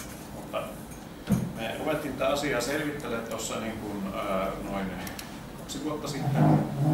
Näytettiin tätä aika kiinnostavaa, kiinnostavaa tekniikkaa. Ja sitten saatiin tässä pienelle käytännössä nelihenkiselle tutkimusryhmälle niin tekee sieltä rahaa sitten kahden vuoden projektiin. Tämä Record-projekti on tämä, tämä meidän hanke ja meillä on ihan tarkoitus sillä, että me pitäisi katsoa näitä lohkoketjuja ja muita luottamusteknologioita nimenomaan sitä suomalaisesta näkökulmasta, että mitä nämä meinaa suomalaiselle yhteiskunnalle ja liike-elämälle. Ja tota, Aika, joo, ei hätää ollenkaan. Se käy kyllä niin ihan tosi hyvin ottamassa siitä. Niin. No niin, nyt paremmin? Ja tota, tässä nyt tulee tuotus. Okei. Tota, meillä on sitten mukana tässä tosiaan, niin siinä, siinä on kaksi yliopistoista, neljä yritystä ja valtiovarainministeriö ja verottajan kanssa on puhuttu vähän paljon. Ja koitetaan laatia tästä semmoinen jonkunlainen melko kansantajuinen kirja, että mitä nämä tekniikat on ja mitä ne tarkoittaa. Ja tota, tota, tota. Tässä on vähän sillä, että mitä mä tänään niin ajattelin käydä läpi. Eli ihan tällainen perusasioita. Sitten ehkä niin kuin minua kiinnostaa niin sen tekniikan sijaan enemmänkin se, että mitä niillä voi tehdä. Ja tota, yleensäkin nämä tekniset kysymykset ovat sellaisia, että jos ei näitä ole kehittämässä, niin, niin tota, ää, nämä ala myös kehittyy niin nopeasti, että vaikka mä taas sitä kerrosin, niin nämä voi olla sitten vanhentuneena kuukauden päästä. Kävisin läpi sille mahdollisesti teitä kiinnostavia ää, käyttökohteita, niin paikallisrahaan, tokenisaation, ja sitten ehkä mikä minua tässä niin jotenkin kiehtoo eniten on se, että mulla on sellainen vahva ajatus, että nämä saattaa osoittautua sellaiseksi luottamuksen rakennustelineeksi, jotka mahdollistaa uuden kaltaisten luottamuspalveluiden syntymisen, mutta ei välttämättä ole sellaisia niin lopullisia ratkaisuja sellaisiin ongelmiin, niitä on käytetty. Ja sitten on taas arvailuja tulevaisuudessa. Mä sanon aina, että, että, että tämä on niin se nopeasti muutoksessa oleva ala ja niin uusi ala, että tota, kuka tahansa kun sanoo, että hän tietää mitä tulee tapahtumaan, niin ei se kyllä sitten oikein tiedä, tulee. Okei. Mitä tämä hajautettu luottamuksen teknologia sitten oikeastaan on? No, tota, suurimman osallahan se on tuttu Bitcoinista. Kuinka moni haluaa tunnustaa, että on jotakin käyttänyt Bitcoinia tai omistaa niitä? Kuka ainakaan haluaa tunnustaa? Siellä on yksi. Päivittäin käyttänyt, niin. Joo. Eli, eli siis tämähän on se, niin se tavallaan se niin tappajasovellus ollut näin, ja siis tämä on se, mistä se lohkoketju keksittiin nimenomaan tähän Bitcoinin ratkaisemiseen. Eli miten, miten ratkaistaan tässä anonyymin sähköisen valuutan ja niin sanottu double spending ongelma, eli se, että kun rahaa on vain bittejä tietokoneella, niin miten estetään se, että bittejä käytetään johonkin kaksi kertaa. Ja tämä on aika näppärä ratkaisu, se on oikeasti ihan niin kuin silleen, se on elegantti tekninen ratkaisu, että ne insinöörit arvostaa sitä. Ja tota, mutta se, on, se, miksi meitä kiinnostaa tämä tekniikka, on se, että se potentiaalisesti voisi olla paljon muuta. Ja meillä on itse asiassa semmoinen mandaatti tekee sitä, että meidän pitäisi katsoa kaikkia muita paitsi rahan, tai, tai niin ja teknologian käyttöä rahaa ja käteisen tota, korvikkeina. Ja no, me ollaan se huomattu, että se ei ole oikein mahdollista, koska niin tämmöinen maksuväline ja teknologiat kytkeytyy ihan kiinteästi toisiinsa jotenka emme sitten niin välitä tällaista ohjeistuksesta, mutta tota, kuitenkin me keskitytään ehkä enemmän kaikkeen muuhun kuin Bitcoiniin. Eli jos haluaisi niin ihan, ihan tota, yhden rivin tota, tämmöisen ää, määritelmän, että mitä on lohkoketjut tai nämä mistä minä puhun, niin se on, se on hajautettu, mutta silti luotettava tietokanta. Ja se ei ole mitään se, se, ei ole mitään sen niin ihmeellisempää. Se tietokanta käytännössä se on niin tietokantasovellus, on tietokanta tapa, tapa luoda tietokanta sillä lailla, että se voi olla hajautettu ja yhtä aikaa Ja mä olen niin havainnollistaa sitä tällaisella, tällaisella tota, palikka-esimerkillä. On mun suosikki palikoita. Niin tota, jos niin ajatellaan, että jollakulla olisi tästä jotain arvokasta tietoa, niin tällä on tämmöinen arkkaitti tuossa käsissä. Ja se haluaisi säilyä se johonkin silleen sähköiseen muotoon, niin tähän mennessä se, miten se on pitänyt säilyä, niin se on käytännössä meillä on sitä, että jos sun niin oma kiintolevy ei niin kuin, ole riittävän turvallinen sinne, niin sun pitää antaa se jollekin tällaisen datavarastolle. Tämä datavaraston tilalle voit ajatella vaikka pankin tai Dropboxin tai, tai oikeastaan minkä tahansa niin semmoisen tahon, joka säilyttää jossain määrin arvokasta informaatiota. Antaa keskitetty datavarasto, missä on, niin näette, se on kaikkien muidenkin asiakkaiden dataa siellä ja se voi olla vähän reikäinen Sä et oikeastaan itse tiedä, että miten ikäinen se on, eikä se ole niin tavallisen käyttäjän selvitettävissä ollenkaan. Se pitää vaan luottaa siihen, että tämä keltainen kaveri, niin se tota, pitää huolta siitä, mitä sen sinne parasta. Ja tämä on tosiaan tilanne kaikille sama, että, että johtuen ihan tämmöisestä, ää, tässä on monesti tulee sellainen luonnollisen monopolin tilanne, että ei ole järkevää olla ihan älyttömän monia tämmöisiä palvelutarjoajia niin sitten useat ihmiset joutuu luottamaan siihen samaan. Saanko mä tätä välillä Joo. selventää? Puhuttiin just tästä tota, maksutapahtuman ja kirjanpitoviimisen erillisyydestä, niin tässä tota, ajatussa tai niin vertauskirjanpidossa, niin tota, se on sama tapahtuma. Ei ole enää sitä välimatkaa tota, maksutapahtuman ja kirjanpitoviimisen välillä. Joo. Ja se on niin kuin aika oleellinen juttu. Joo, myös se, poliittisesti. Sillä, joo, sillä on vaikutuksensa, mutta siis tätä voidaan silleen, on mun mielestä ajatella ihan yksinkertaisesti siis sillä lailla, että kaikki kuitenkin palautuu siihen, että jossain on jotakin tapaa, mm. joka representaatio jostain arvokasta informaatiosta. Tota, mutta nyt tämä sitten tämä lohkoketjun myötä, niin tähän tuli tämmöinen uusi tapa, että miten tämän voisi tehdä tämmöisen tiedon varastoon. Ja se on se, että laitetaan se arvokas tieto semmoiseen suljettuun laatikkoon. Eli tota, käytännössä niin salattu, salataan se tieto.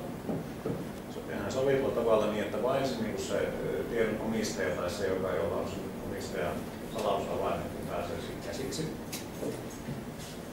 Ja, ja tota, sitten ruvetaan latomaan niitä laatikoita päällekkäin sillä tavalla, että sieltä ei pysty niin kuin, nappaamaan pois niin kuin, yhtään laatikkoa sieltä välistä ilman, että se koko homma kaatuu.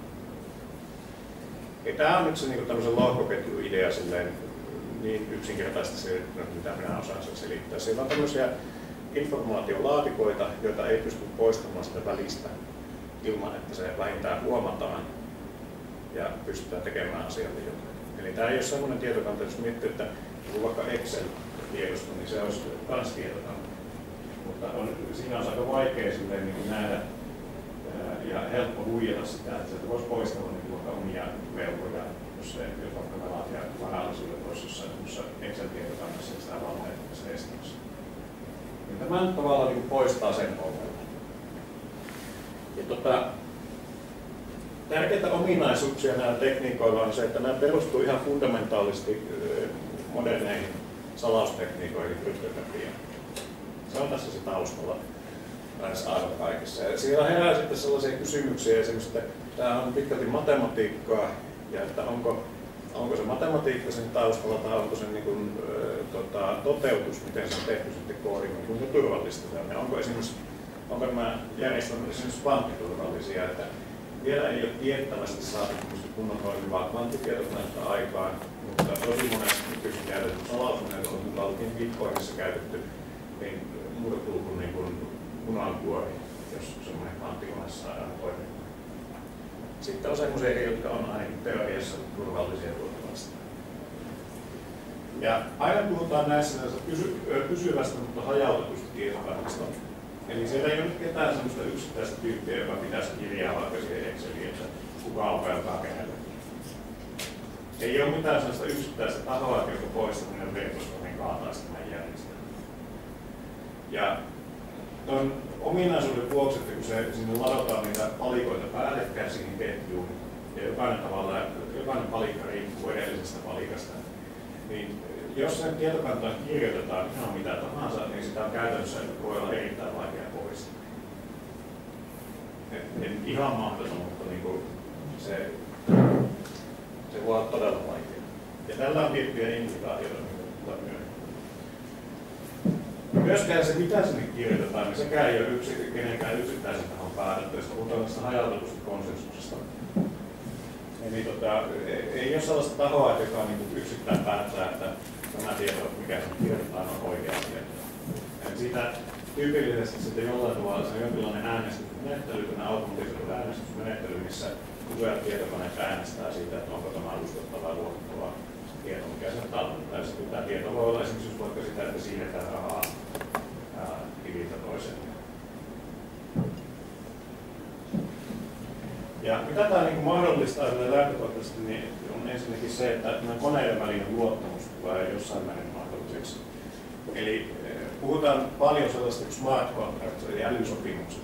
Ja se on käytännössä sitä, että tehdään laillisesti sitovia sopimuksia, jotka on samalla koodin Eli eh, ne on niin pieniä ohjelmia, jotka saattaa tarkkailla ympäristöä jollain tavalla ja sitten siirtää rahaa tai jotain muuta arvokasta perustuen havaitsemiseen. Ja yksi esimerkki on esimerkiksi se, että mitä paljon mietitään, niin tämmöinen vaikkapa niin tästä kodinkoneet ja muut rekottikot, että se voisi antaa niin jääkaapille rahaa, prepaid liittymään osata rahaa. Ja se voi antaa jääkaapille rahaa ja se jääkaapilla on sitten niin kuin, ää, käyttää sähköyhtiön kanssa tällaista älysopimusta, että, että tota, niin on määritelty esimerkiksi vaikka näin, että jos sähkön hinta menee jonkun tietyn rajan alle tai jos se jääkaapin sisälämpötila nousee liikaa, niin sitten se ostaa sitä sähköä, kunnes niin tämä lämpötila saadaan kohdalle. Teoriassa nämä sopimukset voivat olla kuinka monimutkaisia hyvänsä, mutta tota, jos kun varmasti täällä niin kuin enemmän kuin missään muualla, niin olette perillä siitä, että tällaiset monimutkaiset ää, sopimukset on tota, aiheuttaa vakavia kriisejä, niin mä luulen vähän, että tästä me tullaan näkemään vielä aikamoinen, niin kuin, aikamoinen kriisi, kun nämä sopimukset yleistyy ja ihmiset unohtaa sen, että debukkaaminen on, niin täydellinen debukkaaminen on aivan mahdollista. Ja tällä hetkellä tärkeimmät luottamusteknologiat on tosiaan tämä lohkoketju, mikä kirjoitin ihan isolle se blockchain on englanniksi, koska siis se on käytännössä niin kuin mitä just nyt, niin kaikki nämä on. Bitcoin, ja Bitcoin on se, niin kuin se isoin, mutta sitten on tota, toinen merkittävä Ethereum, joka pyrkii olemaan sen tavallaan yleiskäyttöinen alusta, minkä päälle voidaan rakentaa kaikenlaisia uusia keksintöjä. Nyt on sitten vahvasti tulossa sieltä alta, niin on tämmöinen millä ei ole mitään suomennosta, joten mä nimellä Takku. Ja se on semmoinen vaihtoehtoinen tapa toteuttaa tämä periaatteessa sama asia. Ja sillä on tota, tiettyjä etuja, kuten niin kuin, no aina esimerkiksi IOTalla ei välttämättä ole esimerkiksi IOTA-protokollalla, se on kvanttiturvallinen, eli sitä ei pysty näillä kvanttikoneillakaan avaamaan. Ja tota, se on potentiaalisesti hyvin paljon resurssitehokkaampi. Eli varsinkin Bitcoinista puhutaan paljon, sen, kuinka paljon se käyttää sähköä, mikä on todella paljon, se taitaa olla Tanskan verran. Voitko se kertoa vähän enemmän tästä tota, takusta? Tota, joo, siis se, ää, siinä on käytännössä niinku idea se, että, että tota, ää, nämä transaktiot, siis nämäkin minulla vielä vähän opiskellut tässä kesken, koska nämä on sen verran uusi juttu. Mutta sikäli kun olen ymmärtänyt, niin siellä, siellä tota, transaktiot riippuu toisista transaktioista. Ja tuota, esimerkiksi niin tuossa IOTassa ne transaktioita ei vahvisteta semmoisella louhioiden toimista niin kuin tässä Bitcoinin verkossa, vaan aina kun teet transaktion, niin samalla se ohjelmisto varmistaa kaksi muuta transaktiota. Ja siihen luotetaan siihen, että, että tota, muistaakseni esimerkiksi IOTassa on, niillä ainakin kun ne väittävät, että heillä on matemaattinen todiste, niin kauan kuin vähintään kolmannes käyttäjistä on rehellisiä, niin se verkko on turvallinen. Olettaen, että se, siellä on tarpeeksi, niin, olettaen, että on tarpeeksi käyttäjiä. Siis, äh, Venneslohkeissa on 50 prosenttia. Niin, niin. Eli, eli tota, tämä on päteekö matematiikka musta myös oikein niin päin kolmannes, enintään kolmannes saavutettu mutta tota, kumminkin siis se, se, niin kuin, se tehdään tuo varmentuminen toisella tavalla, ja se on sen ansiosta niin kuin, potentiaalisesti paljon resurssitehokkaampi ja nopeampi järjestelmä kuin perinteinen loukkoketju. Ja mä itse asiassa luulen vähän, että, voi olla hyvin niin, että nämä perinteiset loukkoketjujärjestelmät jää vähän sitten välimalli ideoissa. Voiko avata vähän sitä, että miksi esimerkiksi tuo Bitcoin käyttää laskelmalla sähköä? Joo, voi. Tota, Mä taidan tulla siihen tuossa myöhemminkin, mutta no, se on ehkä ihan hyvä käsittely nyt, koska se on aika sellainen keskeinen. Mutta jos vaikka tuo oli mun seuraavassa lausussa. Mä muistan oikein. Ei ollut vielä. Näin, okei. Okay. Eli, eli tota, homman nimi tässä niin Bitcoinissa on se, että silloin näissä kaikissa tämmöisissä luottamusjärjestelmissä, missä on se fundamentaali trade että eh, joko voidaan tehdä nopea ja tehokas järjestelmä, tai voidaan tehdä luotettava ja järjestelmän kehittäjän pitää käytännössä valita, että mihinkä tämä niin kuin, vaara asetetaan. Ja silloin kun halutaan maksimoida luotettavuutta ja niin kuin, varmuutta sille, että tämä järjestelmä ei päästä hakkeroimaan, niin silloin joudutaan väistämättä tekemään kompromisseja tehokkuuden välillä. Bitcoinissa tämä lähtökohtana on ollut se, että yhteenkään käyttäjää ei saa luottaa. E-, eli ajatus on siinä, että että tota, vaikka kaikki käyttäjät olisivat epärehellisiä tai yrittäisi olla epärehellisiä, niin se toimisi silti, olettaen, että ne ei toimi yhteistyössä.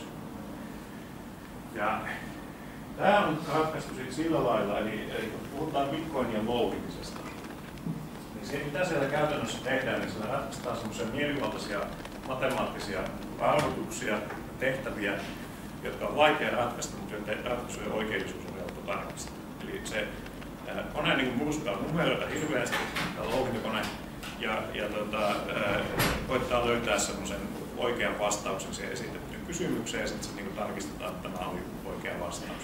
liittyykö tuo nimenomaan siihen niin Bitcoinin synnyttämiseen vai ylipäätään siihen pyörittämiseen? Tällä Tässä tota, konsensusalgoritmi on niinku sen eri mitä käytetään. Ja konsensusalgoritmeja on mon, monia. Siis tota, Bitcoin käyttää sellaista konsensusalgoritmia, joka on proof of work, nimeltään POV 2. Niin, ja se on sen yksi eka. Ja sitten niin kuin Bitcoin Clone käyttää sitä. Sitten tämä konsensusalgoritmien kehitys on tosi nopeata ja tosi semmoista, että me ei tiedetä mitä kaikki on mahdollista. Se on se, niin kuin mun nähdäkseni se, niin se missä tekno, siis tekninen ja matemaattinen kehitys on tällä hetkellä nopea prosessi. Ja me ei ollenkaan ymmärretä tätä, että mikä kaikki on mahdollista. Ja Ei siinä joo. tapahtuu paljon kehitystä, mutta tota, et, et, et Bitcoin on ollut vaan se, tai se proof of work on ollut se, mikä on tosi energiasyöpä. Sitten on proof of stake ja sitten on niinku proof of vaikka mitä, vaikka mitä, proof of X. Joo. Ää, Siis se konsensusalgoritmi on se, niinku, mikä tekee tämän hajautetun mm, vertaiskirjoittajan niinku mahdolliseksi. Niin, eli, eli siis se on siis käytännössä siis se, että kuka saa päättää, mitä se kirjoittaa siihen lohkoketjuun. Eli mikä on niin oikeaksi tieto. Näin on. Ja, nyt siis siinä niin tässä sellaisessa järjestelmässä, missä näet voi luottaa kenenkään toimii. Ja siellähän on tietysti se riski, että, että joku koettaa tässä jotakin, mitä, mitä se ei saisi olla. Tämä on väärää, ja minä omistan aineita. Ja tota, eh, jotta tämä saadaan estettyä, niin siihen pitää tehdä semmoinen keinotekoinen este siihen järjestelmään, mitä tässä tulee. Täytyy ihan sorry, täytyy korjata, siis koska tämä tota, ää, ää, tässä tämä Byzantin kenttä on mukana. Se kansi siellä Byzantin tolerance. Niin ää, se on jostain niin ajateltu laskennan niin ongelma, matemaattinen ongelma. Tota, sitten tämä tota, Bitcoin ja muut niin, tota, konsensuaalit niin ainakin kiertää. Pystyy jotenkin niitä rajoituksia toimimaan. Si- Sinne just niin kuin, päästiin, nostettiin se tota, luottamusraja 30 prosentista 50 prosenttiin. Se on se, mitä niin kuin, tämä Bitcoin teki. Kyllä, kyllä. Se, se, se, se, se, se just perustuu siihen. Et se, se, se, et, et, et, siis, et, jos 49 kirjoittaa tahallaan väärää tietoa sinne, Joo. niin se systeemi silti toimii. Et siis, et, et, et, siis sinne saa niin kuin, Kyllä. niin kuin muutkin niin kuin yrittää vaikka hajottaa sitä niin tahallaan sitä systeemiä, mutta se toimii silti, että se luottamus toimii. Kyllä, mutta siis tässä just niin kuin mitä sanoa on siis se, että, että tuota, tässä jos tällaisia niin kuin, tahallista estettä, estettä sitä ei olisi, niin silloin olisi tosi triviaalia tehdä semmoinen joku niin kuin, ää, rakennelma, missä on monta tietokonetta saman käyttäjän ohjauksessa ja jokainen, jos, jos perustuu sitä äänestys siihen, että yksi tietokone ja yksi ääni, niin silloin tämä olisi tosi helppoa tehdä tämmöinen niin kuin botnetti, missä on miljoonia koneita ja, ja tota, viedä niin kuin enemmistö näistä äänistä. Mutta kun tähän on laitettu tahallinen hidaste tähän, tämä laskentavaatimus, ja vaatii tosi paljon niin prosessorin tehoa ja sitä kautta syö paljon sähköä, niin tällaisen ää, tota, huijaussysteemin rakentaminen on tosi kallista ja epäkäyttämistä. Silloin sun pitäisi niin haalia valtavan osa laskentakapasiteettia, eikä vaan pelkästään niin yksittäisiä tietokoneita, mikä voi olla joku lukemutti tai yhdellä tietokoneella voi joku joku monta, jos haluat, jos siinä ei ole sitä hidastetta sinne. Ja, ja tämä on just se, että niin kuin sanoin, niin, niin siellä on just se, että jos, jos joku saa haltuunsa Bitcoinissa niin kuin 51 prosenttia sitä käytännössä laskentakapasiteetista, mikä sitä pyörittää, niin se pystyy kirjoittamaan sen tuohon uudelleen puhutaan sellaista syvihyökkäyksestä tai liikennehjältaisen hyökkäyksestä. Ja tämä on se, niin se trade-off, mikä on pitänyt tehdä, että koska muuten, muuten sitten pitäisi luottaa näihin toimijoihin enemmän ja uskoa siihen, että ne ei ole huijaamassa. Ja jos eh, on olemassa myös niin esityksiä esimerkiksi yksityistä lohkoketjuista, esimerkiksi pankeilla on semmoinen Korda-hanke, niin tota, siinä ajatus olisi se, että nämä kaikkien eli sitä filtteriin, pääoihin voidaan luottaa, jolloin tällaista niin kuin, hankalaa laillistusmekanismia ei tarvita. Ja silloin se voidaan tehdä paljon resurssitehokkaammin samalla. Mutta tota, palataan vielä siihen tuossa myöhemmin. Tää, nyt, että, että miksi tällä niin, teknologialla on ylipäätään väliä. Niin, sitä pitää niin ehkä lähestyä sillä lailla, että mietitään tätä, että että miten me niin ylipäätään välitettiin luottamusta. Että kannattaa nyt niin poistua siitä ajatuksesta, että tämä on vain rahaa. on kaikkea muutakin luottamusta vaativaa informaatiota tai semmoista, joka hyötyy jollain tuolta luottamuksesta. Niin esimerkiksi rahan kohdalla kuitenkin sitä luottamusta välitettiin historiallisesti niin, että edelleen se on yhtä käteistä, se on sitä ainutta laillista, laillista rahaa. Ja sitä piti ihan fyysisesti kuljettaa tämmöisiä niin setelilappuja ja tälleen, tälleen sitten tuota, paikasta toiseen. Ja sitten sillä pystyy niin saamaan sitten vaikka joku tavaraa. No nykyään tämä käytännössä toimii siis niin, että on pankit ja tilit siinä välissä. Eli me annetaan pankille ohjeistus, että siirrä ton toisen tyypin myyjän tilille tämmöinen summa rahaa. Ja sitten saat sieltä vaikka tavaraa. Ja nyt sitten niin siitä syystä, koska tämä on siis se systeemi, että meillä on tuolla se keskitetty kirjanpito. Meillä on yksi tyyppi, johon molemmat luottaa, että se pitää kirjoja oikein. Kuitenkin tämä niin kuin uusi systeemi on sitten se, että, että tietyissä olosuhteissa niin voidaan luopua sitten kolmannesta luotetusta osapuolesta. Ja tämä on sille aika iso asia, kun huomioidaan se, että, että tota, et niin kun tällaisia luottamusjärjestelmiä on itse asiassa aika paljon. Esimerkiksi kaikki tämmöiset niin kuin Airbnb, eBay, kaikki tällaiset, niin niiden toiminta perustuu ihan olennaisesti siihen, että niillä on se keskitetty varasto luottamusta tai keskitetty tai kirjattu luottamuksesta. Esimerkiksi siitä, että miten hyvä asiakas sä olet ollut, on Airbnbille ja Uberille tosi tärkeää, tai ehkä niille vielä tärkeämpää on se, että miten se palvelun tarjoaja, se, niin joka ajaa sitä taksia tai tarjoaa asuntoa, miten luotettava se on. Ja näissä ei ole ollut aikaisemmin oikein mitään mahdollisuutta tehdä sellaista niin yhteistä luotettua tietokantaa, koska, koska tota, se on aina ollut sellainen, sellainen tilanne, että joku olisi voinut mennä ja muudella siihen, vaikka arvostoikeus ja siksi tämä, tämä low-tekniikka koskettaa ja tämä luottamusteknologia koskettaa niin monia aloja, koska periaatteessa vaarassa on kaikki alat, missä aikaisemmin oli keskitetty taho, johon eri osapuolet on joutunut luottamaan. Teoriassa olisi mahdollista, että kaikki ne kävisi vanha-aikaiseksi tämän myötä. Mä en usko, että ihan niin tapahtuu, mutta se on periaatteessa Ja, ja tota, siellä on mahdollista se, että me voidaan tallentaa sen näihin tietokantoihin tietoa suoraan, mutta toinen vaihtoehto on sitten se, että ää, esimerkiksi kun tallennetaan vain sellainen varmenne, niin sanottu hash. Eli, eli lasketaan jostakin tiedostosta sellainen tunniste, että mistä tiedetään, että on se tiedosto muutettu. Tällä, tämä on tavallaan just sitä aikaleimaamista, että jossakin kohdassa aikaa on ollut tällainen tiedosto olemassa. Tota, periaatteessa tämä tehostaa kaikkea, saadaan läpinäkyvämpää ja tehokkaaa. Näin siis teoriassa. mikä tässä on nyt tärkeää on se, että, että, että semmoista ihan älyttömästi radikaalia uutta. Mä en tuo, että niinku, ää, periaatteessa olisi mahdollista lähes kaikki jutut hoitaa myös perinteisellä järjestelmällä. Nyt jonkun pitäisi silloin vaan löytää se keskitetty luotettava kolmososapuoli, joka auttaisi hoitaa sen ja tota, tää, kuitenkin nämä teknologiat tekee tietyistä ideoista helpompia toteuttaa.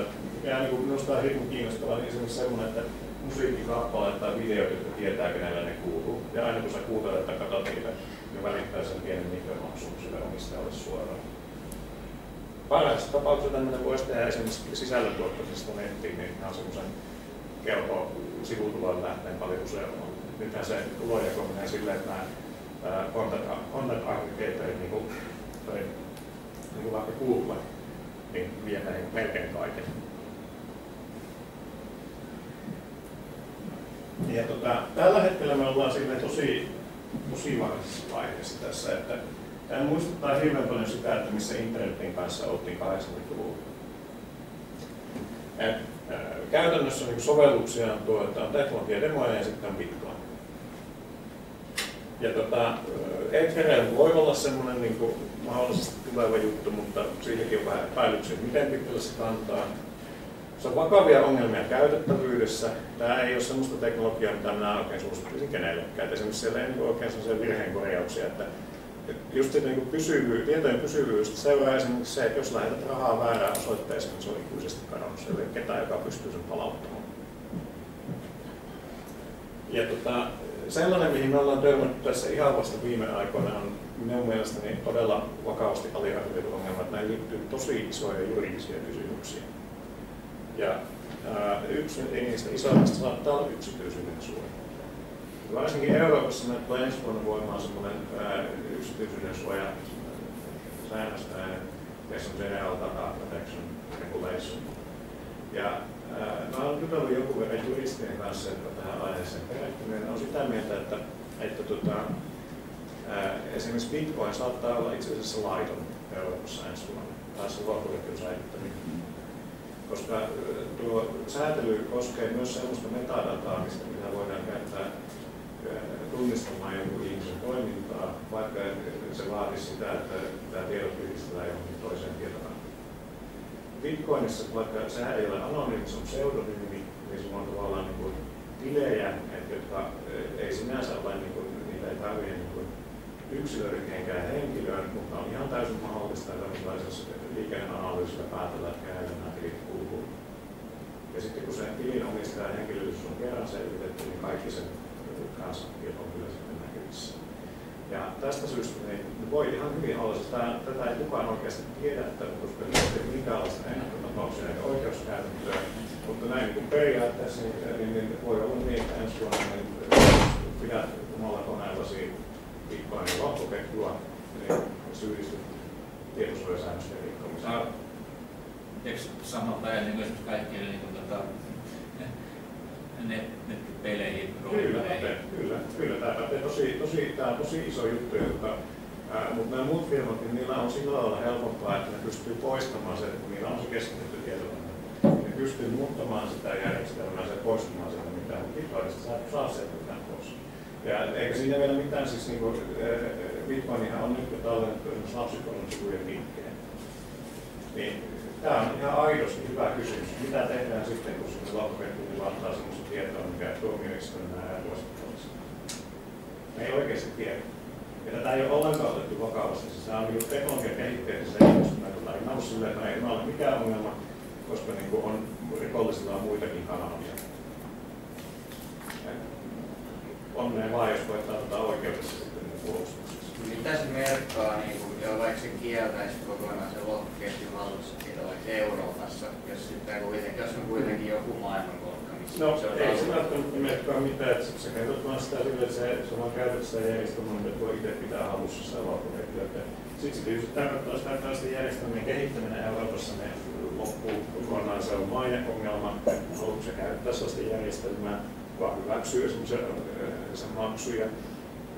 Ja tota, sitten siinä on vähän se, että, että lohkoketjusta puhutaan paljon, se on kuitenkin semmoinen luotettavampi ja avoimempi järjestelmä keskuspankit tai tällä, mikä on ihan täyttä bullshittia, koska, koska niin kuin, varsinkin kun Bitcoin on se just semmoinen järjestelmä, se on muutama kehittäjä, ja ei se tavallinen käyttäjä pysty sitä koodia avaamaan sillä, että tajuaa, mitä sillä oikeasti tapahtuu. Pitää vaan luottaa siihen, että, että niin kuin, sillä on niin paljon niitä kehittäjiä, että joku huomaisi, jos se koetetaan syöttää jotakin niin erikoista. Ah, siis, itse asiassa siis, onhan siinä niin kuin, siis, ihan mieletön tota, pystyy muuttaa sen koodin. No, tietysti, mutta Et se, silleen se, se, se koodin turvallisuus on niin aika hyvin. Niin turvallisuus on, mutta se, että miten se niinku toimii, sille, mitkä on niinku se poliittiset, miten se niinku, poliittisesti, niinku, minkälainen poliittinen voima se Bitcoin on, niin eihän se, se on ihan täysin niinku muutaman koodarin mielivaltaajassa käytössä. Ei siellä ole mitään siis, mekanismeja. Siis onhan se niin ne, tota, vähän se, että tota, on bitcoin-klooneja, kun siis, Niin, siis niin, niin. nyt on jo useampi niin kuin hardlocki. Kyllä. Niin, että kun et, käyttäjät päättää sen, että mihinkä niin kuin, haarukan piikkiin ne tämä, on, tämä on teoriassa mahdollista. mutta Siis Käytännössä, on sehän, siis käytännössä nähdään. niin, että- valu, valuutoissa, valuutoissa on aina semmoinen verkostoefekti. Eli jos Joo. sulla on sulla olisi kuinka täydellinen valuutta, niin jos kukaan muu ei sitä hyväksy, niin se on arvoton. Joo. Ja silloin niin, äh, siinä käytännössä sitten se eniten käytetyn valuutan äh, ohjaajilla on aika paljon valtaa. Koska, koska niin ihan pienestä ihmiset eivät voi sitä laittaa. Mm. No niin, mutta sitten, joo, siis tässä on sitten tämä, tämä tämä ei näy oikein hirveän hyvin, mutta tässä, että siis tällä hetkellä Bitcoin on siis silleen, se on ihan kupla, koska, koska tota, ei sillä ole mitään realista niin kuin pohjaa sille valtavalle arvonnousulle, ei, ei se ole niin kuin, Se on sijoitusinstrumentti, jonka ihmiset laittaa tällä hetkellä rahaa sen jos se nousee. Voisi nousta vielä, en tiedä kuinka kauan jää nähtäväksi, mutta niin kuin ennen, koskaan ennen historiassa ei ollut sellaista tilannetta, että tällainen kupla ei olisi tukenut. Ketkä sinne mahtaa sijoittaa tai pelleillä tällä, Hyvä keinotella kysymys. tällä hommalla? Hyvä kysymys. Se Bitcoinissa on semmoinen kanssa sellainen, minun mielestä se on vakava demokraattinen ongelma, että, että se vasta onkin keskitettyä rahaa. Että 0,01 prosenttia kaikista ää, tileistä ja mahdollisesti vielä pienempi osuus varsinaisista käyttäjistä omistaa 20 prosenttia koko valuutasta ja 4 prosenttia rikkaimmista omistaa 96 prosenttia sitä valuutasta. Se on äärettömän altis.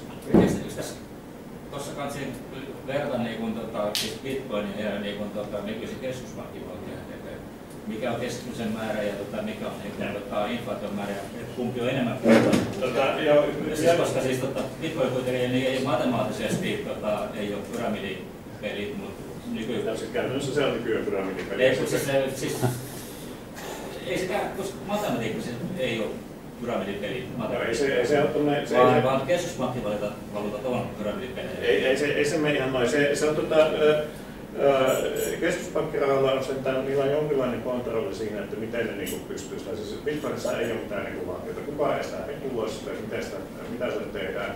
Ja tällainen tilanne, että missä niinku hirveän iso osa asseteista on pienen joukon hallussa, niin se on aivan tajuttoman helppo markkinamanipulaation kohde.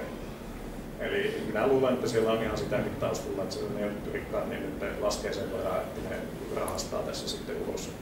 Niin, mulle tulee tämmöinen assosiaatio mieleen, että Bitcoinin tilanne niin kuin heijastaa tai kuvastaa melkein tätä, tätä nykyistä vallitsevaa markkinatilannetta, Nimenomaan, että joo, hy, joo. hyvin pienellä prosenttiosuudella, onko se nyt yksi tai kaksi prosenttia, kun ne omistaa sit, oliko se 90 prosenttia kaikesta omaisuudesta, ja nehän sitten määrää, että miten tämä homma menee. Kyllä, kyllä. Ja tässä ei ole minkäänlaisia, minkäänlaisia ei ole niinku semmoista savuverhoksia, niin mitään demokraattista tai mitään muuta tarkoittaa. Niin joo. Se tässä on ehkä se ero. Eli, eli mä, en, mä en tätä ihan silleen osta, että se olisi niinku jotenkin luotettava kuin keskuspankkien hallitusta, ei se ole. Mutta tota, tämä tekniikka, niin se on sinänsä kyllä ihan soivaa. Että, noita tuo vanha luku, tuo 40, että siinä pitäisi olla lähempänä varmaan 100 Ää, Pankit on kiinnostunut tästä sillä, että ne haluaa tehostaa tätä osaksi syystä, kun tämä on niin kilpailija heille, niin ne haluaa tehostaa omaa toimintaansa. Ja sitten on nämä, niin kuin, nämä tagit, niin kuin, nämä takut. Ja me jossain vaiheessa yritettiin pysyä sitten kärryllä, että mitä kaikkea tuolla alalla tapahtuu, mutta se olisi ollut meille meiltä ihan täyspäiväinen työ kaikilta. Et ei olisi mitään muuta itse tekemään. Käytännössä me vaan todetaan, että niin uusia tulee koko ajan videoita ja muita, muita tuommoista jupinaa. Mutta tämä oli semmoinen hyvä, tämä kannattaa joskus googlata ja katsoa YouTubesta tämmöinen vuotta 84 tämmöinen video, How to send an email. Ja se on ihan fantastinen, siinä on sillä niin kuin, tota, tuossa se kirjoittaa niin viimein sitä sähköpostia, mutta sitä ennen sitä, niin se on semmoinen, semmoinen kaveri, joka sanoo, it's very simple really. Ja sitten rupeaa kytkemään ihan hullulla kaikkea johtoja, että nämä pikkuja tälleen. Ja sitten laitetaan tuohon puheelle ja soitetaan oikean numeron ja sitten siellä kuuluu vähän aikaa tai modemin laulua ja kohta sitten päästään tähän. Eli niin kuin, nyt ollaan aika lailla tässä kohdassa vielä. Ja se jää nähtävästi, mitä kaikkea sovelluksia täällä tulee ja mitkä kaikki menestyy. Varmasti 95 prosenttia kaikista tietysti kaatuu. Se on ihan varma, mutta se 5 prosentissa voi olla tosi kiinnostavia. Yksi niistä on esimerkiksi tämä paikallisvaluutta. Minulla on aikaa, vai mistä mä hyvin Vähän yliajalla. No niin, mennään tämä paikallisvaluutta. Mennään tämä paikallisvaluutta homma, koska tämä on ehkä minusta nyt semmoinen niin kuin jotenkin tosi kiehtova juttu. No niin, joo. Eli tota, me ollaan mukana tämmöisessä hankkeessa kuin kuullut tällaista. Yksi, ja ei, mahtavaa. No niin, sä täällä tulee kohdentamaan väärässä. Tota, Tämä on arvotakomon etusivu ja tota, tota, ää, ajatuksena siinä on, on se, että tehdään tämmöinen niin IOU, siis IOU-järjestelmä sähköisesti. Ja, ja tota, me tätä ihan koitetaan niin ensi vuoden aikana kokeilla. Ja tämä on itse semmoinen, että jopa verottaja on suhtautunut tähän hyvin kiinnostuneesti. Jos tulee näitä juttuja, että verottaja olisi nyt jotenkin ihan hirveästi tällaisen systeemin vihollinen, niin ei se ole kyllä meidän kokemus ollut. Et, et siellä ollaan niinku, siis varmasti sieltä löytyy sellaisia, joissa on iso laitos ja kaikki ei ole kiinnostuneita uudesta tekniikasta, mutta kyllä siellä on semmoista tietää vastaanottavaa henkeä tässä asiassa.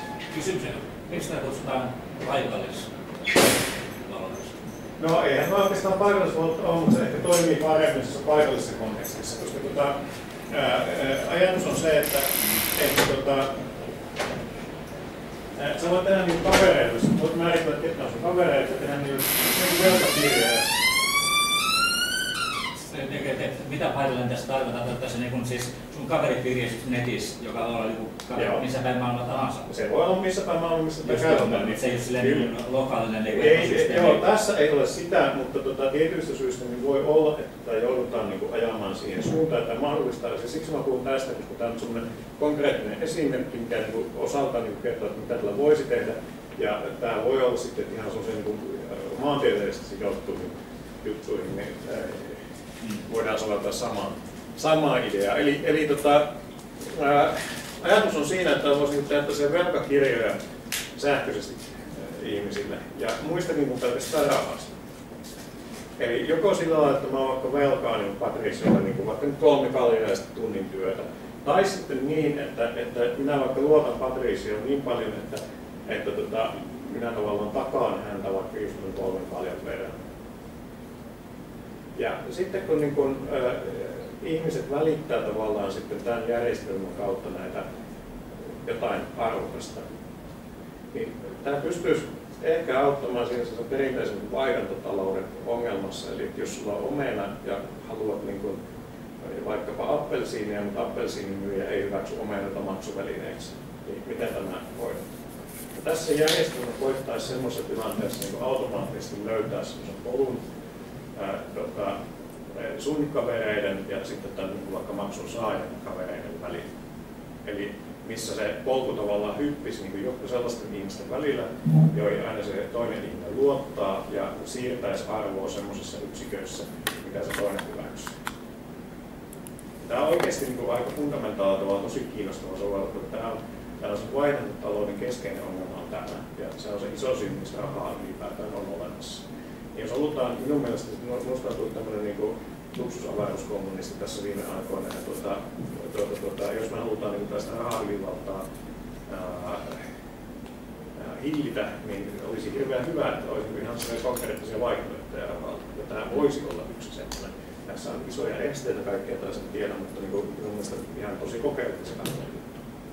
Miten se on maksujen liikkuminen pystyisi ne kolme kaljaa splittaamaan yksittäisiksi? No tota, käsittääkseni se on tällä hetkellä silleen, että se, se pitää splitata sellaisiksi yksiköiksi, mikä niin kuin, mitkä on maalaista splitata.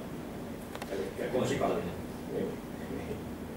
Eli, eli tota, tämä on, on vielä vähän kesken tämä kehitystyö, mutta tällä pyrittäisiin, pyrittäisiin rakentamaan, esimerkiksi Helsingissä on tämmöinen aikapankkisysteemi, mikä ei ole kovin iso käytetty. Pyrittäisiin rakentamaan sen päälle ja tuomaan siihen lisää ominaisuuksia sitten ja Helsingissä myös niin Helsingin kaupunki on kiinnostunut tästä ja se selvitetään mahdollisuutta, että voisiko tällä jopa maksaa veroja. Et silloin kaupunki saisi käyttöönsä jotain resursseja, että se voisi sitten jakaa eteenpäin. Et sen, sen aikapankkitoimintaan ne just verottajat, ah. niin kuin tor, ne.